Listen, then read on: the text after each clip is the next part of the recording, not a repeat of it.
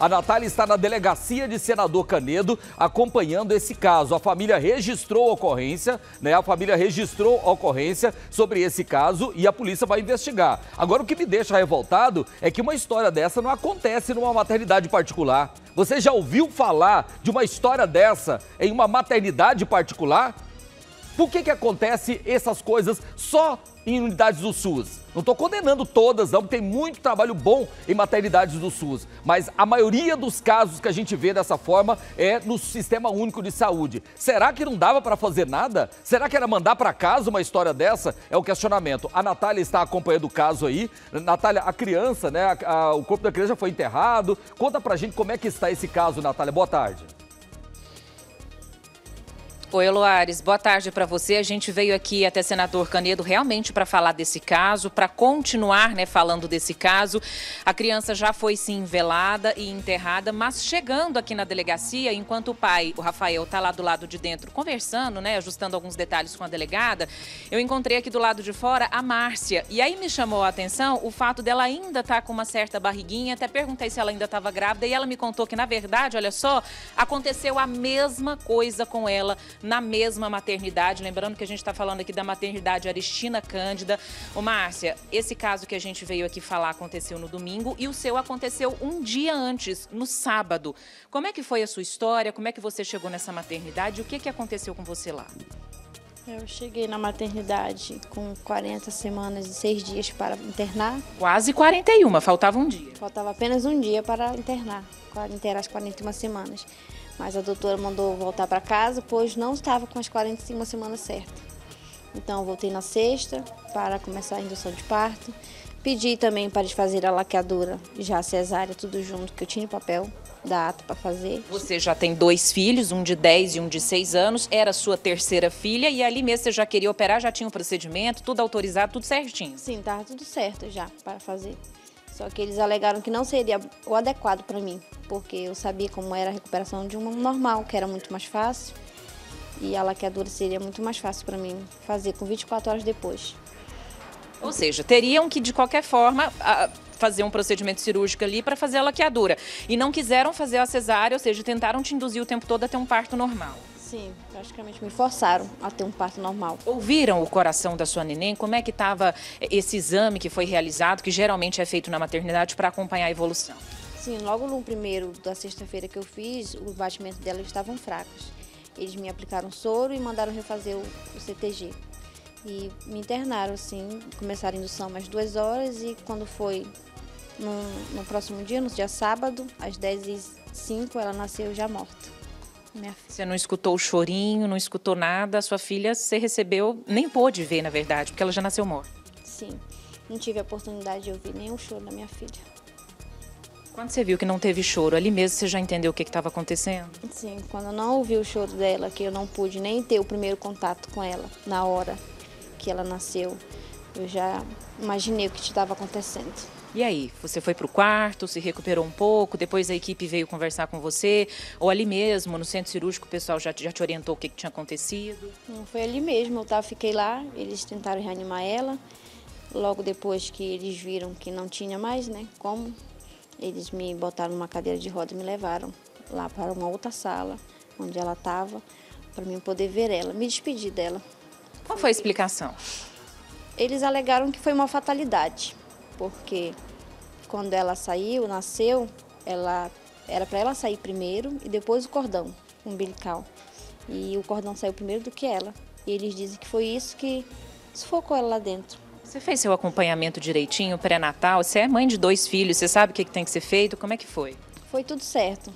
Não faltava nenhuma consulta, tinha todos os ultrassons certos, os exames também não faltava, estava tudo certo. Agora, uma informação que chama a atenção, Loares, é que a Márcia estava me dizendo que quando a equipe falou para ela, foi uma fatalidade, sua filha é, nasceu morta, ela até tentou entender e aceitar aquilo. Mas quando ela viu este outro caso, que aconteceu um dia depois na televisão, ela se encorajou e veio até aqui a delegacia registrar né, essa ocorrência, porque ela entende que houve sim um erro, não foi uma fatalidade. Sim, eu até conversei com meu marido, ele pensou em vir. Eu disse, não, foi uma fatalidade. Vamos aceitar que foi isso. Só que como nós vimos ontem esse caso, a gente resolveu se juntar com essa família, porque não pode mais isso acontecer. A gente quer que seja o último Natália. casos, porque isso não pode mais se repetir. E no dia que você estava lá, você estava escutando outras pessoas também, pedindo ali, faz cesárea, eu quero operar. E a informação que elas passavam para outras mães é, você vai ter um parto natural, um parto normal. Sim, tinha uma outra mãezinha lá também querendo ter a cesárea e eles estavam todos a custo forçando ela a ter o normal. Tanto que depois que aconteceu essa fatalidade com a minha filha, eles foram correndo e operaram ela. Fizeram ela estava no mesmo quarto que você? Estava no mesmo quarto que eu. Ela Fizeram uma cesárea nela? Sim, ela presenciou tudo, tanto ela quanto o marido dela. Porque eu não tive minha filha numa sala reservada. Foi lá mesmo. Estava eu e essa outra família lá. Eles presenciaram tudo. Provavelmente com medo também de acontecer com a mãe, eles operaram ela. Oi, Eloari, você tem uma pergunta? Na verdade, eu tenho, é, o Natália, eu não sei, né, é claro, é, essa outra mulher está na delegacia. Natália, eu vou ler algumas mensagens. Tá chovendo de mensagens de denúncias contra essa maternidade aqui é para mim, viu? E são pessoas com, com, relatos muito parecidos. Eu vou é, até olhar, vou tra trazer uma, de, uma, dessas mensagens aqui. Viu, é, Natália? Tem uma pergunta para essa senhora ainda, é, só para ah, esclarecer o caso. Ô aconteceu é, com essa mulher, aconteceu a mesma coisa com a minha cunhada. É a mesma história nessa maternidade. Ô aí tem uma outra mensagem. Aconteceu a mesma coisa comigo. Graças a Deus não perdi minha filha. Comecei a sentir dores na quinta-feira à noite, mas como a dor estava pouca e eu teria consulta na sexta-feira, eu não fui para a maternidade na quinta. Quando acordei na sexta, é, um tempão eu tinha saído, né? Ah, também reclamando. Ah, na maternidade é, de senador Canedo, negligência é, contra meu filho, a Janete, é, que está falando. Ah, aconteceu exatamente a mesma coisa comigo é, e minha esposa, só que, é, olha que muitas reclamações é, da maternidade de senador Canedo, Natália. Quando é um caso só, aí já são dois casos, né? O caso da, da bebezinha que nasceu, no, no, que foi enterrada agora, o caso dessa mulher, e tem várias outras histórias. Aconteceu mesmo comigo, tentaram me fazer ter parto normal, mas como não conseguiram, me mandaram urgentemente para a sala de cirurgia para realizar a cesárea, forçaram muito. É, fui procurar meus prontuários, eles simplesmente não quiseram me passar os prontuários. Ou seja, está chovendo de reclamação contra a maternidade de senador Canedo. No caso dessa senhora, ela já registrou a ocorrência também, Natália? Você já conseguiu falar com a delegada? Na verdade, você já estava indo embora, né? Quando a gente começou a conversar. O que, que o delegado fala? Enfim, é esperar agora uma investigação? Qual foi a orientação que você recebeu? E agora é só esperar as investigações. Eu fico me perguntando, Loares, porque eu dei à luz também há oito meses, como você disse, graças a Deus, né, numa numa maternidade particular, realmente é bem diferente o tratamento. Não que não existam erros, existem também, mas há uma diferença muito grande. Os seus outros dois filhos, você tem um de 10 e um de 6, foi nessa mesma maternidade? Na época foi bem diferente do que aconteceu agora? Não, eu sou paraense. Meus dois filhos nasceram todos dois no Pará. Foi diferente? Totalmente diferente. Ou seja, com 26 anos, muito novinha, né? Mais bem casada, tudo certinho, queria muito ter essa criança, né? Sonhava com essa menina. Tá, inclusive construindo uma casa ali para poder abrigar seus filhos com mais qualidade, com mais segurança. Como é que tá a sua cabeça? Porque você está numa fase que a cabeça da gente depois de dar a luz fica assim a mil. São hormônios, pensamentos, vem uma tristeza muito grande, o que é normal. Você já conseguiu entender de verdade o que aconteceu? Como é que está sua cabeça, seu coração?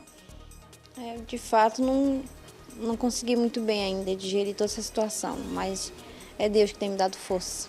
Porque é só nele que eu confio, realmente. Porque não é fácil. A gente planejou, tem uns dois anos que a gente estava planejando. As crianças, os dois irmãozinhos dela, estavam ansiosos para ela chegar. O irmãozinho dela mais novo, todo tempo falava com ela na barriga, chamando Maia, Maia.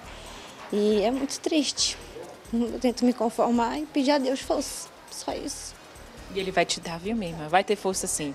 Não tem como não se emocionar, viu, Oloares? É difícil, ela tá tremendo. A gente trouxe até uma aguinha aqui para ela, para ela tentar ficar um pouco mais tranquila. E a gente pede, né, que a delegacia faça seu trabalho e que a Secretaria de Saúde faça uma fiscalização para tentar entender. É claro, a gente entende, gente, a diferença de valores gastos num parto normal, numa cesárea.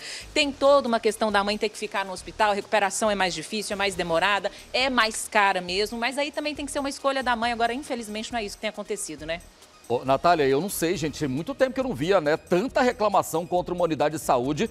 Aliás, até a Secretaria de Saúde, senador Canedo, né, pede para entrar em contato lá, Yuri, talvez por telefone, alguém tem que abrir uma, uma sindicância para investigar toda a maternidade, não é só esse caso, não. Olha aqui, Natália, eu quase perdi meu filho, fiquei quase 24 horas em trabalho de parto, não dilatava o suficiente a médica tentando o normal. Só consegui a cesariana porque teve troca de médico e ele viu que meu filho tinha feito cocô. Lá eles forçam para ter parto normal normal. Olha aí, a mesma, mesma situação. Boa tarde. O que está acontecendo na maternidade Senador Canedo aconteceu comigo há alguns anos. Minha filha nasceu roxa porque eles não queriam fazer a cesárea, mesmo sabendo que a bebê estava sentada. É, é gente, mas está de muita, muita aqui, ó, é, é, é, reclamação da maternidade Senador Canedo. Então, Natália, nós vamos tentar. A Natália está aguardando aí, né, a saída é, da família da primeira criança. Agora, Natália, é, é aquilo que eu falei, né?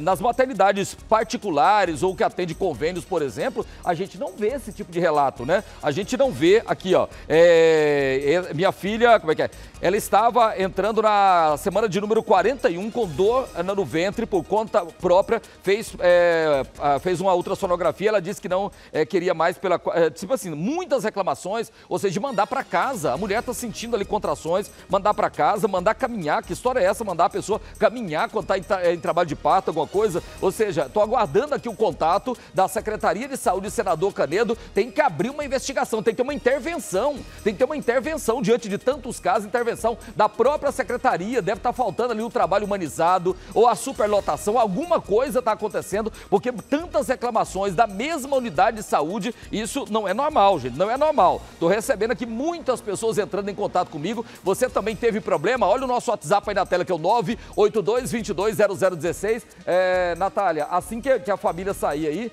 é, se você né, pode me chamar aqui para a gente voltar a falar desse assunto. Essa senhora já registrou ocorrência, já é o segundo caso que a Natália está acompanhando, né? A família do primeiro caso ainda está lá na delegacia, está aí dentro da, da sala do delegado, certamente acompanhando, registrando ali mais detalhes, mas nós vamos trazer mais informação daqui a pouco e eu continuo cobrando. Atenção, Secretaria de Saúde de Senador Canedo. São dezenas de reclamações, dezenas de reclamações contra a maternidade. Maternidade essa que ficou fechada fechada um tempão, foi reaberta agora, mas as reclamações estão aí chamando a atenção. Vamos dar uma olhada nisso aí, viu?